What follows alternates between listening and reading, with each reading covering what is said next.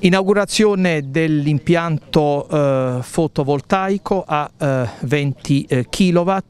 eh, per l'approvvigionamento eh, energetico dell'impianto di selezione Pasquinelli. Eh, Sindaco, lei ha esordito proprio al momento dell'inaugurazione con questa espressione l'impianto si accende e la terra festeggia. Ma assolutamente, questi sono i primi 20 kW di capacità sul tetto di questo grande impianto di Pasquinelli gestito da Chimambiente, ad agosto sarà pronto uh, un altro filare di pannelli solari per quasi 15 kW, insomma a regime il 50% di bolletta meno cara anche per Chimambiente, è veramente un fiore all'occhiello anche tecnologico, Chimambiente sta lavorando nella direzione che gli abbiamo assegnato con il nostro piano di transizione, insomma spero sia una buona pratica che presto riusciremo a replicare su larga scala in tutti gli uffici comunali.